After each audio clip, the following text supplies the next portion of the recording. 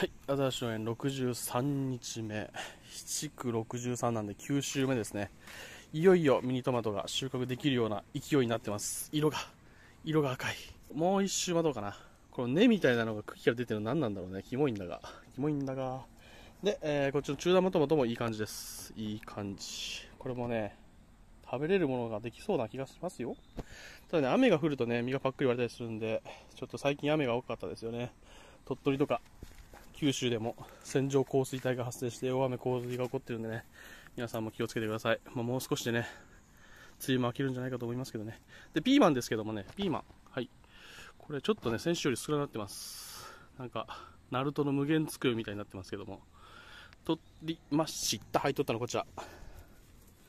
どうでしょう、このサイズ。でかくない？俺の手もでかいけど、俺の手よりもでかい。俺の手よりもでかいってことないけどね。いくらぐらいだろうね。スーパーだと4袋100円ぐらいってネットで今調べたけど、ちょっと自分で計算した方がいいかもしれないね。まあ、150円ぐらいとしましょうか。これぐらいでね。150円。チャリン。で、えー、ナスビなんですけども、ナスビはですね、あ、そうか、ナスビはね、その前にピーマンね、植え替えしたピーマン、ちょっとね、勢い戻ってきます。いや、ピーマンすごいね。一株、一苗あればね、一苗あれば、1家庭分ぐらいのピーマンが取れるんじゃないかという勢いです。でナスビなんですが、葉っぱね、病気かなっていうナスビでしたけど、まあまあ、まあまあです。まあまあな様子です。で、ナスビですけども、収穫できそうなナスビがいくつかあり、ま、あるので、取ろうと思います。例えばこれ。長ナス。すごい大きさですね。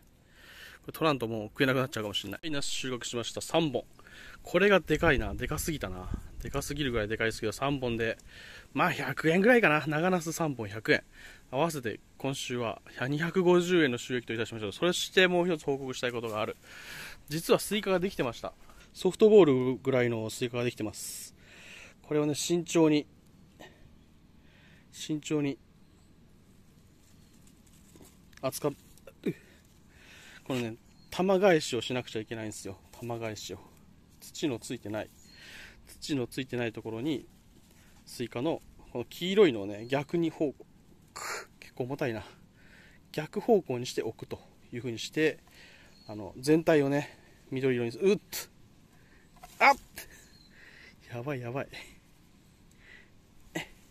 重たい。重たい。よし。OK よし置いとくと。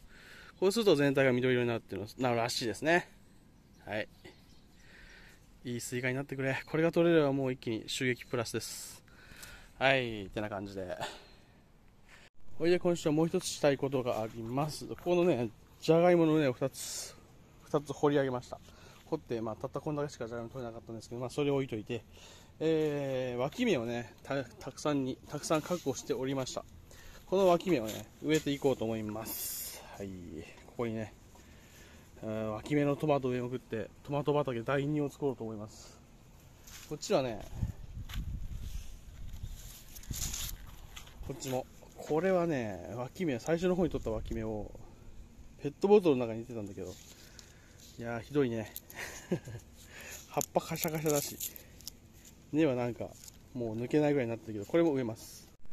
はい6本分のトマト植えました。1つの畝に6本のミニトマト多すぎるんじゃないかというそういう気もしますけども。まあまあまあまあまあまあまあ、まあ、植えるものも特にないということで。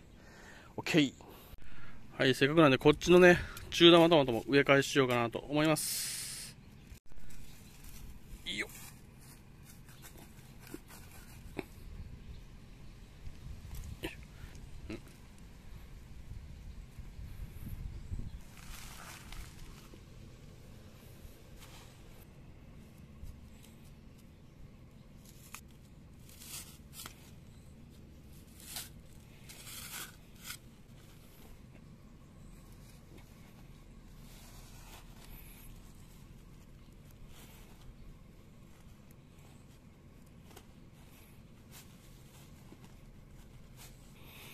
はい、OK でしょう。